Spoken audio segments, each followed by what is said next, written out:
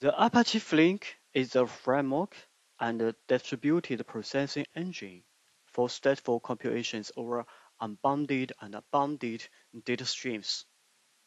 Flink has been designed to run in all common cluster environments, perform computations at in-memory speed, and at any scale. Developers build applications for Flink using APIs such as Java or SQL, which are executed on a Flink cluster by the framework. Apache Flink reduces the um, complexity that has been faced by other distributed data-driven engines.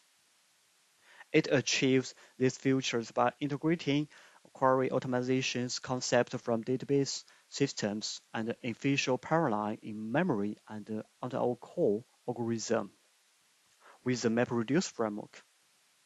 Flink offers layered APIs that offer different levels of expressiveness and control and are designed to target different types of use cases. Uh, there are three layers of the API. A process function. Process function, also known as the stateful stream processing API. Data stream and a table and SQL. The stateful stream process API requires writing verbal code, but offers the most control over time and state, which are core concepts in stateful stream processing.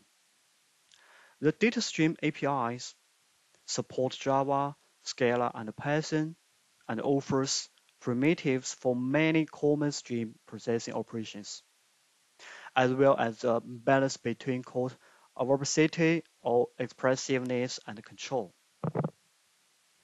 The table and SQL APIs are relational APIs that offer support for Java, Scala, Python, and SQL. They offer the highest abstractions and uh, intuitive SQL-like declarative control over data streams. You can visit the Flink website and get more information.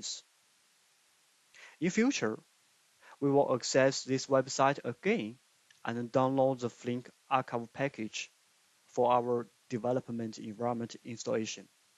Alright, see you next lecture.